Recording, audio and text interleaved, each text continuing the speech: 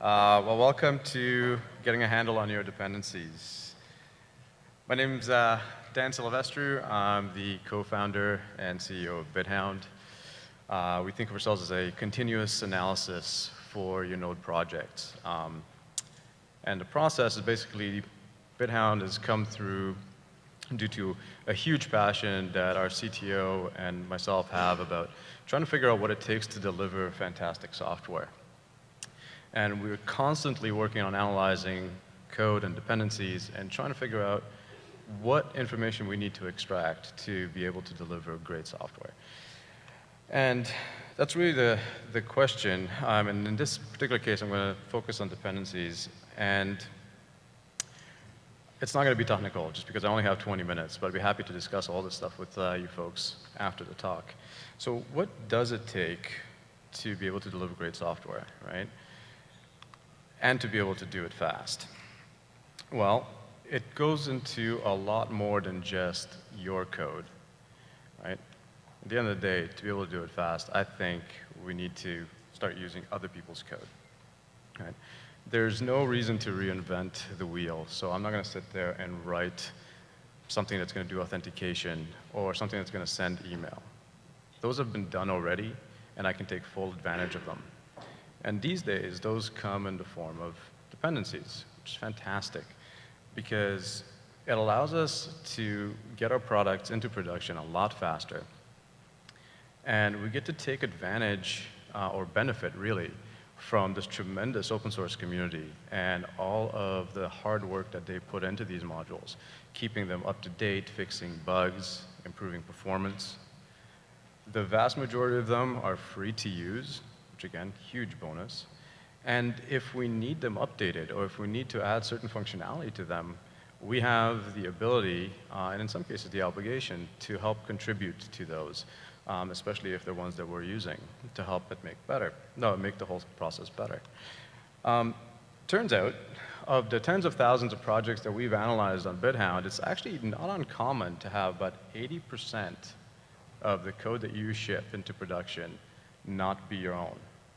And this is not a bad thing, right? And it leads me into you know, what I want to talk about, which is supply chain management.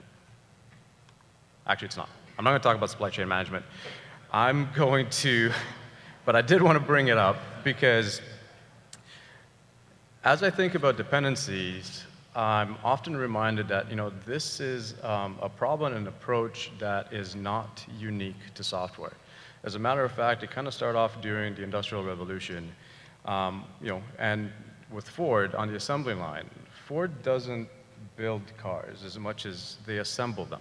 They design them, they have a set of core components, and then they assemble them um, by getting components from a whole bunch of trusted vendors with which they've negotiated, They've agreed on the exact specifications. There's great quality control measures in place to make sure all the pieces fit together.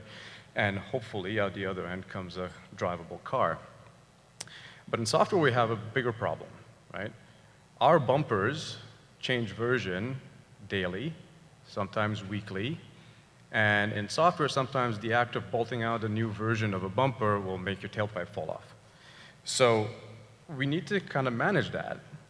And that leads me to what I'm actually going to talk about. So that's a cute little wombat. I figure it was way cuter than uh, the NPM logo. And as we've seen earlier today, um, in some of the numbers that were put up on the screens, NPM uh, right now has over 212,000 packages. It's probably more than that since these numbers are three days old. Um, and sees about 3 billion downloads a month. That's really, really big. As a matter of fact, it's huge. But I think that NPM's biggest strength is also potentially its biggest weakness. So NPM is great in that we can publish a module without any um, real effort. Anyone can get into the game. Everyone can write a piece of code that's hopefully useful and then publish it. And there aren't a whole lot of, of gates that, that prevent us from publishing code right? And once the code is out there, it's up to us as a community um, and, and, and, organizations and individual developers to find what we need and use it. As a matter of fact, the dependency cycle, the way I kind of see it is initially it starts off with discovery, where we need something to do something, and we'd rather not write it ourselves. Uh, we have to then select the one we actually want to use, integrate it into our code, figure out the usage, um, and then we get into kind of this maintenance mode of I have this dependency, it's sitting there, um, how do I make sure that I'm, I continue to use it correctly? So getting into discovery and selection, uh, I think it was while I was at JSConf last week, I, I went on NPM, I don't know if, you, yeah, you can see that. Um, and I typed in email, um, and I got over 6,500 results. I was like, well, that's fantastic. Which one do I get? And I said, well, hold on. Actually, I, I just want to send email. So I got 150 results. I was like, yay, this is great. This is so much better than 6,500. It's still 150 things um, that I need to go and vet. And these days, I don't know about you, but I mean, through blog posts, through talking to friends in the community and other developers, I kind of hone in on the one thing that I think is going to do the job for me and, you know, use it. Um, but to kind of better illustrate the process of how I go about picking one, um, I'll kind of, you know, we have JSHint, ESLint, and Standard. Those are three packages that can be argued do more or less the same thing. They lint your code. They help make sure that you stay up with your standards. And if we just look at the numbers uh, that we can easily get off of NPM, um, you know, I find it a little bit difficult to make a decision of which one is better. We're seeing a huge move towards ESLint uh, and standards being adopted and semi-standard as well uh, on a rapid pace. But if all we have to go by is the number of downloads, how many releases uh, they've done to date, when the last release was, um, I think there's still a lot of context that, that we need to be able to make a proper decision. So I'm kind of wondering, like, do we need to start looking at, well, what's the activity level? At what pace are they opening and closing issues and, and accepting or rejecting PRs? Uh, security vulnerabilities, do they have any that might impact my project and how are they addressing them? Um, does code quality come into play? User ratings may be a thing, and you know, SEMVer adherence. Um, I'm sure how many people got screwed by SEMVer recently? Just one, two, three? Okay. Maybe the rest of you are in denial. Um, but I find that the problem with SEMVer, although the, the standard is like fantastic, um, it is still us humans that make the decision of what version we go to, and inevitably we all make mistakes, and there are you know downstream consequences for that. So let's talk about quality first. Um, so it's a bit of a baseline quality thing that you know I got these numbers from uh, NodeSource, they've done a great little um, kind of animated graphic um, about uh, understanding NPM. So these numbers are a little bit old, but I think that the percentages still mostly hold. Um, out of the NPM modules that are out there today, about 6% don't have a README file. Um, I think uh, I can argue with some of the NPM humans on whether or not it is 30% that have no licenses or not no clear definition of a license. But these are the kind of packages and kind of the baseline quality which maybe we need to find a way to red flag and kind of help the community stay away from because it's an indication that there's a bare like a lack of bare minimum um, understanding of what is the information that you need to provide so that someone can consume your software. And what about code quality? I mean, obviously, at BitHound, we are huge on code quality and do an analysis. Um, but should we take that into account when we're selecting um, a particular NPM package? Um, you know, anyone from JSHint in the crowd? Okay, cool. Um, this is JSHint. Um, so, and this isn't to, to get a dig at them or anything like that, but just it, it kind of dawned on me that JSHint, which is a linting framework, doesn't have an ES6 linting config for their test fixtures. I don't, I don't know if that's irony, but I just, things like that that we see in other projects, are there indicators that the project's maybe not fully managed to the, you know, the, the best uh, standards. Now security, this is top of mind for a lot of people. And uh, you know, we're seeing huge investments in internet security companies out there. And being able to understand whether or not you're potentially exposed to a security vulnerability, um, I think is super important. And with the usage of NPM modules and the whole dependency tree, there is potential for you to be vulnerable to a security um, issue, even though you might not be directly requiring a dependency that is insecure. So when we um, ran our analysis on just, we picked 35,000 random projects from our system. Some are NPM modules, some are not. And if we looked at the entire dependency tree, 41% of them had a version of a dependency that had some known security vulnerability on it. And our first reaction was kind of something like this, and we're saying, oh my God, went back and relooked at our actual numbers to be like, did, did we totally screw this up? Um, and we realized that we actually, we didn't, because your dependency tree could go down very, very deeply. Um, but what we did realize is that there's this tendency to just panic and say, oh my God, security dependency, I have to kill it, I have to fix it, and I can't. Do I apply a patch into production? What are the implications of that? And what we realized is really, it, your stuff is potentially insecure as a result of this. Um, I think that the key here is to understand what the impact is of your dependency tree.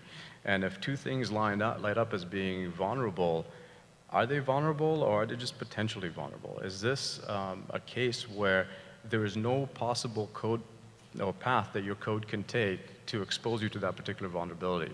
Uh, Adam is sitting here in the front row, but as he often says, uh, security vulnerability is basically this module making you a promise that it's going to do this when you give it that. Um, and the result is it does something else. And so now there's a vulnerability. That could be a denial of service. It could be an actual security thing where someone can inject some, some bad code. But the, the important thing is to understand the impact of the security vulnerability on your code base um, and what is you can do about it. Obviously, if you can patch it if by upgrading, you should, because just because your code doesn't hit a vulnerable path today doesn't mean it won't tomorrow, right? And then I sometimes ask, okay, so what about my dev dependencies? I have a crap ton of those too, right? They do a lot of work for me. And if there's a vulnerability in there, should I really care? Um, I mean, really, I don't deploy those, or at least you shouldn't, and there's ways to make sure that you don't, uh, because everything that you put into production is just increases the attack surface, right? Um, and I often hear back, I don't care about my dev dependency. This is a dev dependency. It doesn't matter. I, I found the version that I like. It does everything I need it to do. Go away. Um, and then you get this. So this was kind of cool. Um, this was on Uglify.js. This is a vulnerability that during the minification process of your code, right, as it states, incorrect handling of non-Boolean comparison during minification, which could have actually resulted in code that you didn't expect to run under certain conditions, running. So this is an example of a dev dependency that is directly impacting or has the potential to impact your production code. And we tend to kind of leave them by the wayside and not really think about them. But I think it's extremely important that we do, right? Basically, if there's, there's anything I can really start, as we're talking about managing our dependencies, um, and you know, I'm not going to get into too many technical things here, but it's all about understanding that the code that we write these days tends to be glue code with some business logic, and hopefully we put a lot of effort into a really pretty user interface and really think through our user interactions. But a very large bulk of the code that we ship isn't ours. And we tend to take great care to making sure that the code that we write meets standards, right? We write tests, we run lint, you can run it through cyclomatic complexity. We have CIs and build steps that will fill, fail our build and alert us and not let us ship into production if there's anything wrong with our code. But that other 80% that we ship along with our code, there are very few fail checks there. And I think we really need to start thinking seriously about how we manage that code because that code was written by people that we haven't vetted. We haven't hired them. They don't follow our standards. They follow their own, hopefully. Um, but I think the key to all of this is to really, it starts with knowledge. It's being able to peer into this dependency tree and understand what is it we're using, how we're using it, and then also make sure that we are addressing any issues that you know pop up the most, I, was thinking of a whole bunch of different things that I could bring to this talk to say, okay, well, here's the various things that you need to do to make sure that you manage your dependencies properly. And all of that always came full circle back to keep up, right? Like make sure you're staying as up to date as possible with the dependencies and the NPM packages that you've selected. Excuse me. Um, at the end of the day, you could say, well, this dependency at this version does exactly what I needed to do and nothing else, right? Um, but what if there's a whole bunch of critical bugs or performance issues that have been fixed over time that you are actually missing out on? More importantly, what if you just have left it by the wayside and by the time there is a reason to upgrade, let's say there is a new security vulnerability that's on the version that you're using, but now you're two major versions behind, so there's breaking changes in each.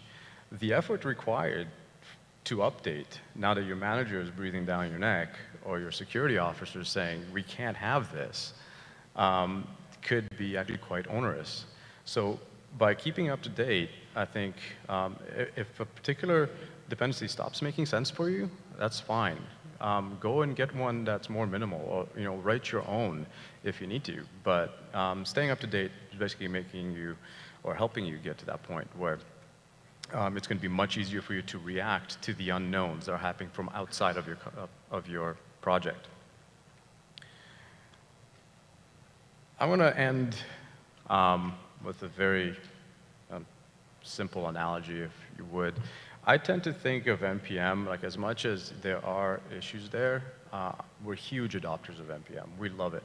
Uh, between our major projects, I believe we have in excess of 130 NPM modules that we take advantage of. And it is frustrating sometimes trying to keep them all up to date. But I look at NPM as a gold mine.